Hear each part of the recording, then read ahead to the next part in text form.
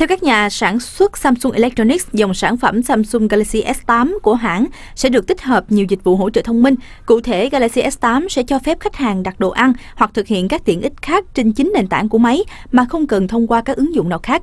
Samsung đang tiến vào cuộc đua phát triển dịch vụ hỗ trợ công nghệ số thông qua việc mua lại VipLab. VipLab là một công ty khởi nghiệp được sáng lập bởi những người đã viết ứng dụng nổi tiếng Siri Động thái này của ông lớn ngành điện tử châu Á được cho là nhằm thoát khỏi sự lệ thuộc vào Google. Google vốn là nhà cung cấp các ứng dụng hỗ trợ ảo cho Android. Samsung được kỳ vọng sẽ cho ra sản phẩm mới trong mùa xuân tới.